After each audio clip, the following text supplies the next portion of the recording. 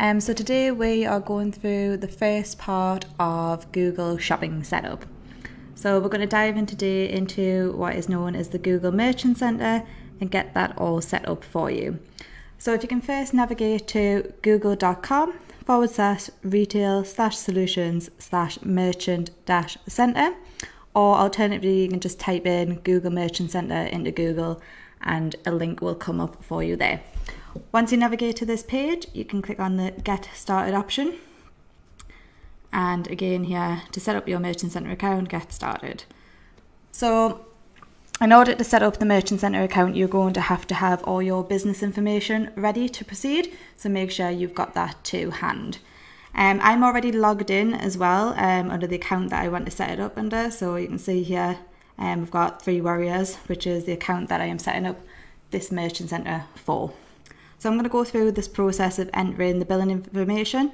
Um, so business country, so in this case for mine, it's going to be Australia. Um, business display name, um, we will have the Warriors. And then my um, time zone is going to be Sydney. Um, so we'll do Eastern Standard Time, there we go. And then continue. So make sure you obviously put in the relevant um, time zones for your business that you want it to appear in. This is just some kind of optional um, section here. So may Google contact you about the Merchant Center. I typically click the yes option so you can see any updates or best practices that um, Merchant Center can send through to you.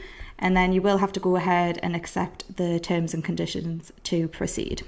So we'll just continue through with that. Okay, so the next section we have here is um, choosing between um, the objective for the merchant center. So in this case, we're doing um, an online setup, so it's an online store. Um, so you've got options between selling your products on a website and selling in a physical store. Um, we're going to do the paid shopping ads version as well. Um, so here we have services across Google. So this is Google's new kind of organic shopping list, and so we're going to skip past that and we're going to go through to the paid shopping ads section. If you drop down here as well, it'll give you a little bit more information about this section. So we can go ahead and continue. Here we've got just a summary of the um, initial setup through the Google Merchant Center. So just ensure that all this section is correct. Um, so I've got my store name, business um, country that would be advertising in. I want to do it for shopping ads through paid, um, so advertising through Google. And then it's got a little section here to say to get your Merchant Center account running, you can configure your programs anytime in the Manage Programs section. Okay, so that's all fine, and we can go ahead and create the account. So just click this button here.